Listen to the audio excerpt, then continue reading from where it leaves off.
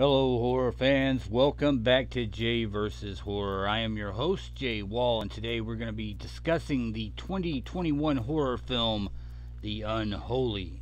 It's a 2021 American supernatural horror film written, produced, and directed by Evan Spiliotopoulos. This is his directorial debut, and it is based on the 1983 novel Shrine by James Herbert. Produced by Sam Raimi through his Ghost House Pictures banner it stars Jeffrey Dean Morgan, Cricket Brown, Cary Elwes, and William Sadler. So let's read the listed premise for this film. Alice, played by Cricket Brown, is a young hearing impaired girl who, after a supposed visitation from the Virgin Mary, is inexplicably able to hear, speak, and heal the sick. As word spreads and people from near and far flock to witness her miracles, a disgraced journalist, played by Jeffrey Dean Morgan, hoping to revive his career, visits the small New England town to investigate. When terrifying events begin to happen all around, he starts to question if these phenomena are the works of the Virgin Mary or something much more sinister.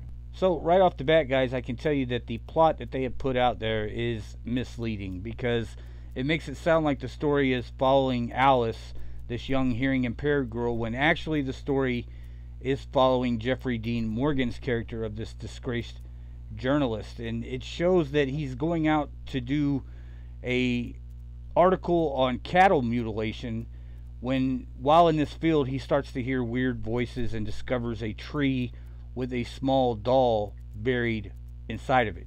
Now these are called kern dolls and normally they are a sign of good luck, but in this instance the doll that he's found is bound with a chain and it also has the impossible date of February 31st on it. And from here we follow Jeffrey Dean Morgan's character of Gerry Fenn as he starts to see unexplainable things and experience unexplainable things. Then he meets a priest who runs a small Catholic church and this is where he meets Alice who is deaf but all of a sudden Alice starts to hear this voice too and it draws her to the tree in the cow pasture and there's this miracle where Alice begins to be able to hear, and it's really not possible as we're told because she's never heard before. And so, even if she could hear, she wouldn't understand language. She wouldn't understand English language. But that all seems to just happen here. She instantly understands everything everyone is saying, sounds like she's spoken her whole life. So, once Alice receives this gift of being able to hear again, she starts to become the vessel of this entity that has granted her this miracle. And she refers to it as a woman named Mary. Now, everyone just assumes that she means the Virgin Mary. As the film moves on, Jeffrey Dean Morgan's character realizes that what's going on here is absolutely evil and that the devil is kind of mocking faith by putting this forward. We also see it take kind of a modern direction because this entity of Mary wants to be heard and believed by all and the best way to do that is to manipulate the media. So we spend about the last 20, 30 minutes of this film with Jeffrey Dean Morgan running around now trying to stop this entity's ultimate plan from happening. All right, horror fans, here's where I give you my personal thoughts on the film.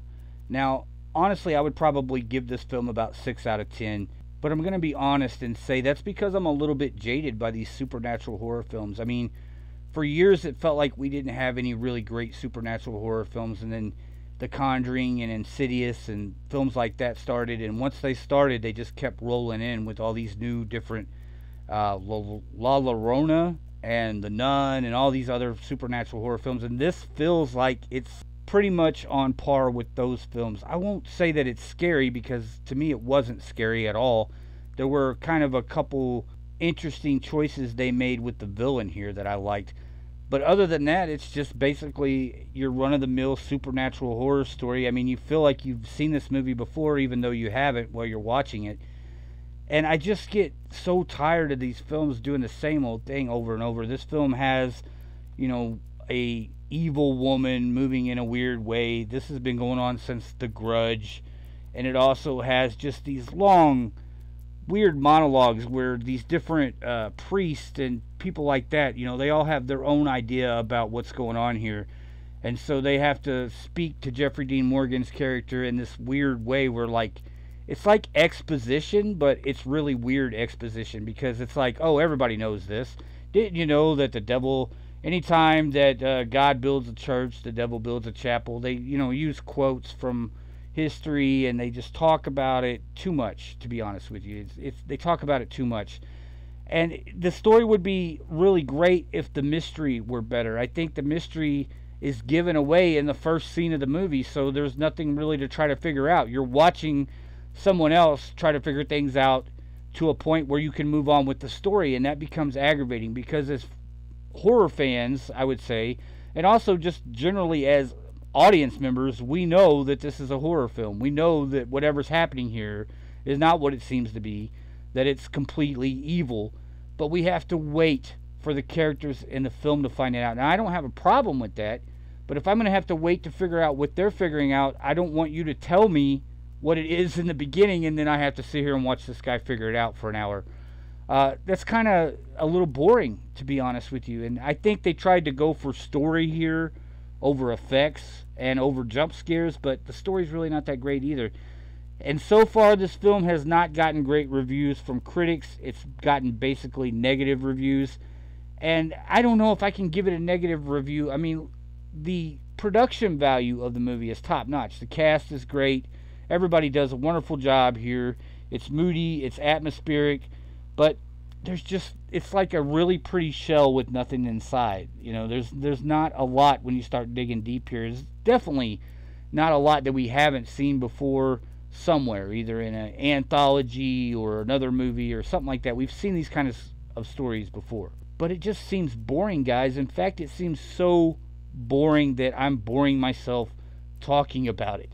So I'm going to give this one 6 out of 10, and I'm going to let you make up your own mind, guys. It's definitely worth a watch. I mean, that's just the thing about it. The market is so flooded with these types of movies. If this movie came out 30 years ago and I saw it, it would be a classic horror film probably, and I would still be talking about it in a nostalgic way.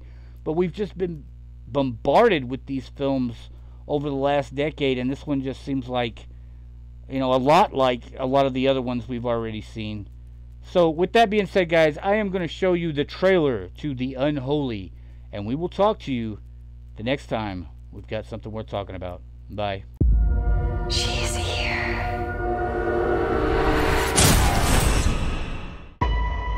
Listen, I have a story for you.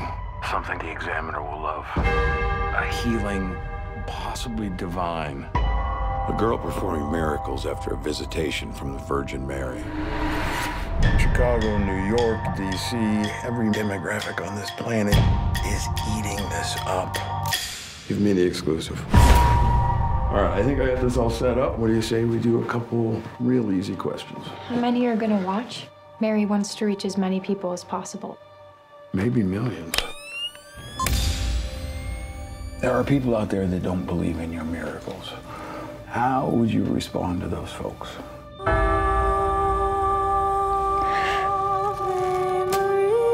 Seeing is believing. And why do you think Mary chose you? I opened myself up and welcomed her in. Witnesses of the Virgin Mary draw millions of faithful each year. The Vatican's been tasked to investigate this visitation from the Blessed Virgin. I have read several libraries worth on the supernatural. Investigated half a dozen miracles. Prove them all false.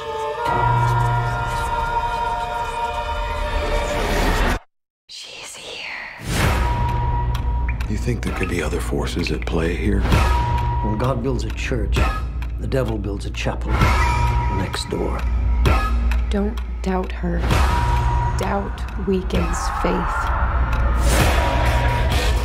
Hail Mary, full of grace, pray for us sinners, now and at the hour of our death. This is not the work of the Virgin Mary. It's the work of the unholy. Faith in evil empowers evil. Believe in her.